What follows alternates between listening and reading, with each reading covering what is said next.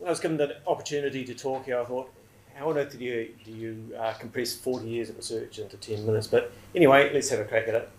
So, my niche area is called processing of natural materials into high value bioactives. If I talk quickly enough, I want to cover supercritical extraction, which is a type of processing technology, New Zealand propolis, which is a source of high value bioactives, and then two big collaborative R&D projects that we're involved with. The Bioresource Processing Alliance and Cyber Marine. Let's see if that's the right way. No. Aha. So what is an extraction? So most of you do an extraction every day without it, without kind of thinking it being like that. So making a cup of tea or coffee is a simple type of extraction. You're extracting your tea or coffee with very hot water you're extracting the flavour into the water and then that's becoming your cup of tea or, or, or, coffee and you're leaving the solids behind. So supercritical extraction conceptually is almost exactly the same, but what we're doing is using very high pressure carbon dioxide as the replacement for hot water.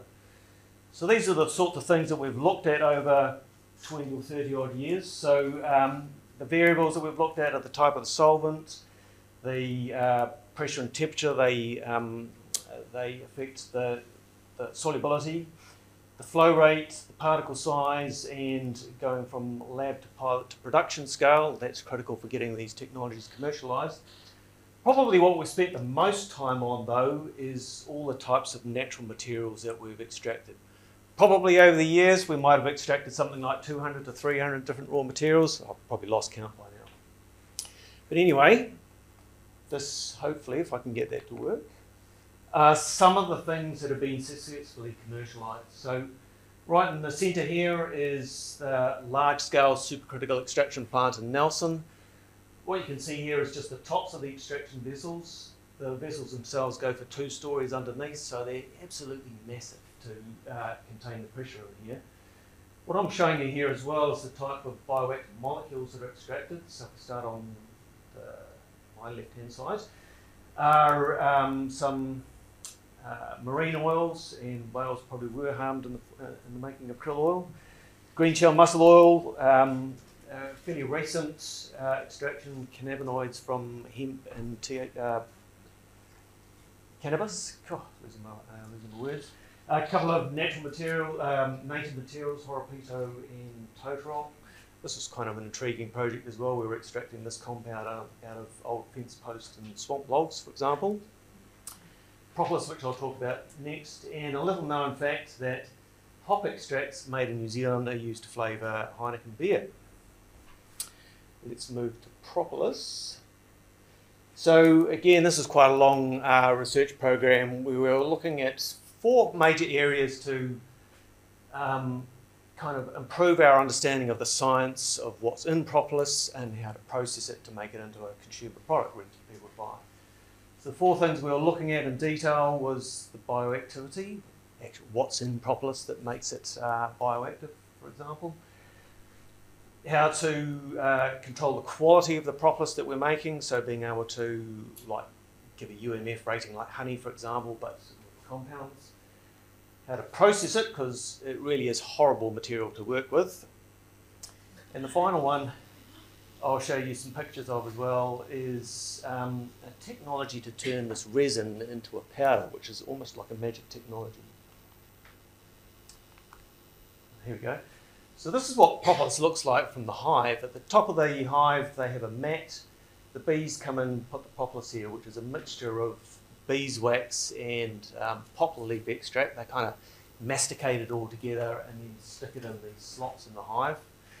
That stops the hive from um, having invaders and also um, provides temperature control and stops um, microbial uh, invasion, let's say.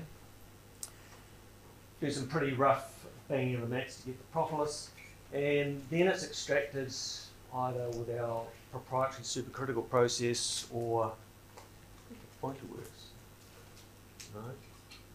Or um, ethanol extraction. You see these molecules here.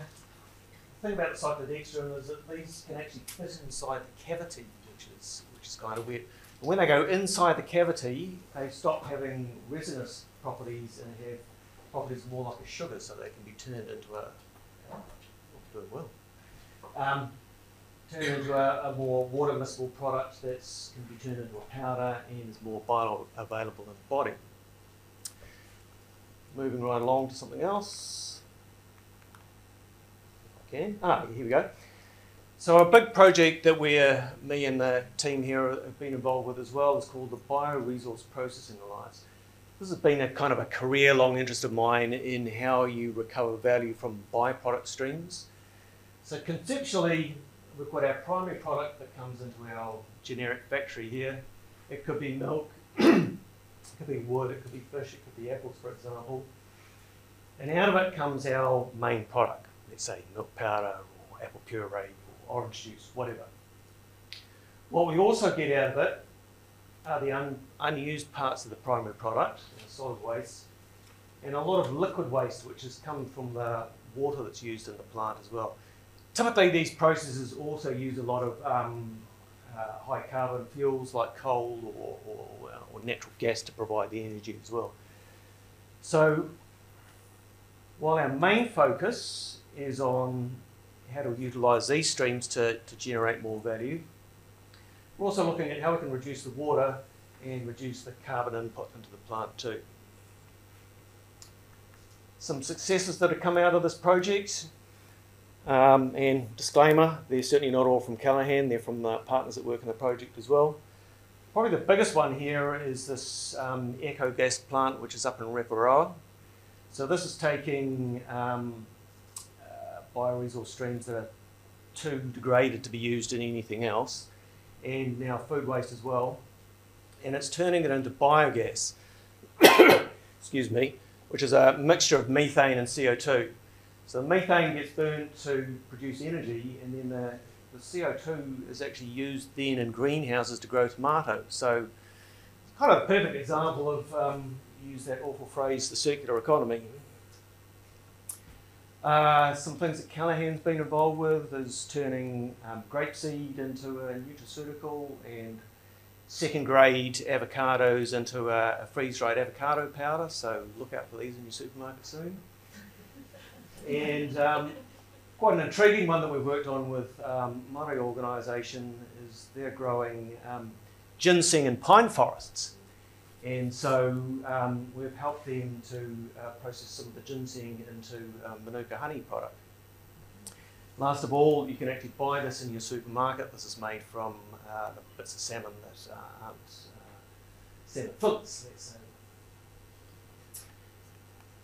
And the last thing I wanted to talk to, which is a, a good segue uh, on fish, is another big collaborative project we're working on, which is being led by Plant and Food Research. And this is all about trying to design the fish processing factory of the future.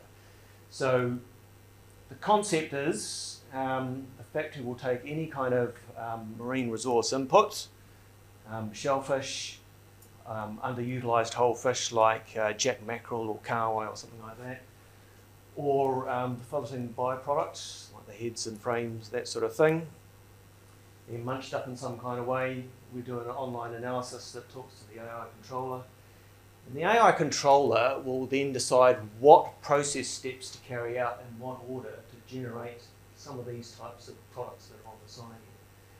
So we're working on these process technologies and also converting kind of standard chemical analysis into, into online analysis techniques so that um, we can train the AI controller.